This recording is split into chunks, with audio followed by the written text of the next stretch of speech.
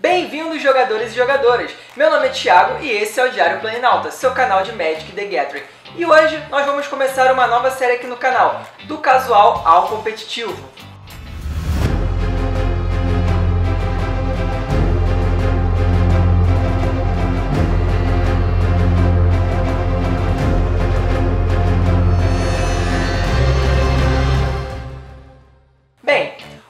Consiste a série do casual ao competitivo? É, eu voltei a jogar Magic há pouco tempo, faz menos de um ano, e voltei agora em Origens. E eu sempre joguei Magic, desde que eu comecei a jogar Magic lá em Era Glacial, eu sempre joguei Magic com os meus amigos, é, na escola, na cozinha de casa, e nunca joguei, tive a experiência de jogar numa loja. Ao longo dos anos foi, foi passando, eu fui é, conhecendo melhor o jogo, mas naquela época a gente não tinha a facilidade que a gente tem hoje de internet, de você poder assistir no computador, no celular, em qualquer lugar, um torneio Pro Tour ou algo desse tipo. O que a gente tinha muito antigamente eram as revistinhas como a Dragão Brasil, pra gente se basear um pouco no preço das cartas. Mas a gente nem ligava para isso naquela época, a gente queria mesmo jogar. O que a gente queria era abrir os, os boosters, é, tentar tirar é, cartas legais, interessantes, montar o deck em cima daquelas cartas e jogar um contra o outro no colégio, no mesão de casa e entre outros lugares. No máximo, o, naquela época, o que a gente fazia era jogar um torneiozinho ou outro nesses, nesses eventos de anime ou de encontros geek, onde passavam filmes e geralmente alguém sempre organizava um torneiozinho de Magic. Mas era uma coisa muito, muito casual. A gente, por exemplo, nem sabia direito as regras, a gente jogava com as regras assim gerais, mas a gente não ia ao fundo com relação a estratégias, entre outras coisas. Então o que acontece? Agora nós temos uma vasta possibilidade. Nós, nós, temos muita informação, internet, revistas, TV, tudo, tudo nós temos hoje em dia que pode nos facilitar muito.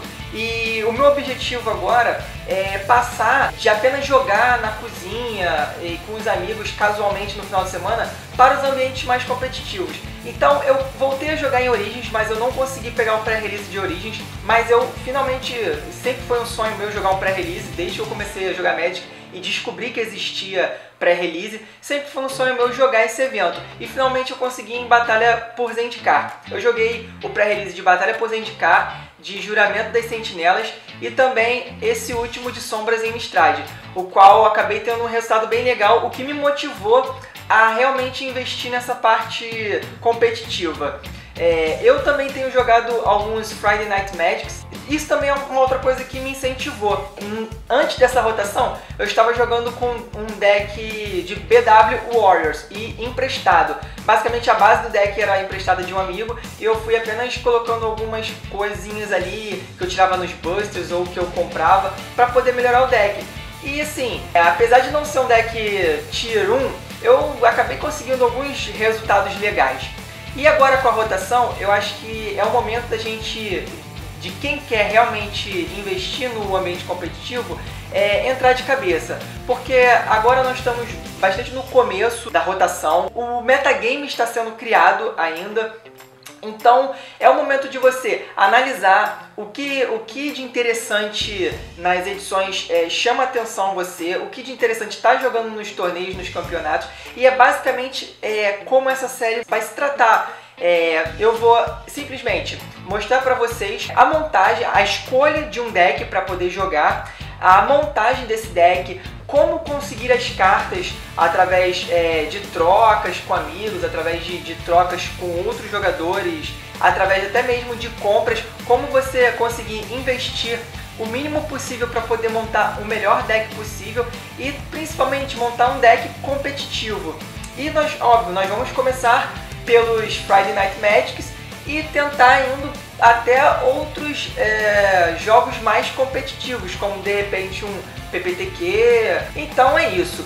Se você também tem esse interesse, se você é um jogador casual, um jogador de final de semana, joga com seus amigos, ou no máximo se arrisca aí, aí a um Friday Night Magic ou outro, é, fique ligado no nosso canal que eu vou trazer muita novidade, vou trazer, tentar trazer para vocês as melhores dicas, vou tentar mostrar realmente como que é essa transição do casual ao competitivo. Além da montagem do deck, vou trazer gameplays, análise, entre outras coisas. Fique ligado, curta esse vídeo aí, compartilhe pra gente poder chegar a mais pessoas, a mais jogadores, a atingir aquele seu amigo também que joga com você, que você também quer trazer para o ambiente competitivo. E se você ainda não é inscrito no canal, inscreva-se para não perder nenhum episódio dessa série. Até mais!